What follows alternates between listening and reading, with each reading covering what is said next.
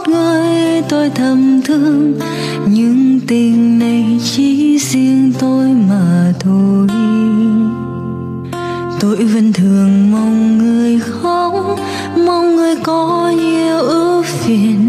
Vì khi đó tôi có thể sẽ chia. Rồi tình yêu lớn cho đến một ngày, tôi nhận ra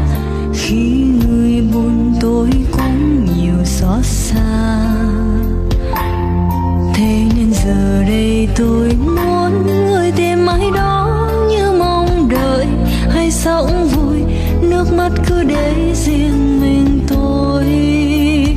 Ngược thời gian đi về nơi lòng chưa nhớ, chưa thương, đi về nơi lòng chưa vững ta vương nếu ngày xưa mình không quen biết nhau, chẳng đớn đau, vì tôi biết do là riêng mình tôi cứ đơn phương.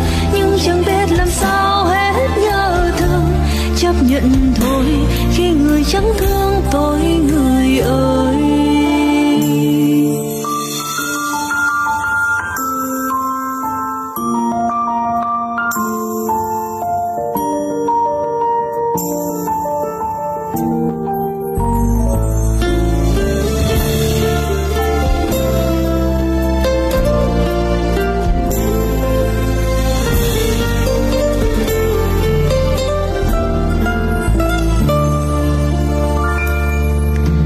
rồi tình yêu lớn cho đến một ngày tôi nhận ra khi người buồn tôi cũng nhiều xót xa. Thế nên giờ đây tôi muốn người tìm ai đó như mong đợi hay sống vui, nước mắt cứ để riêng mình.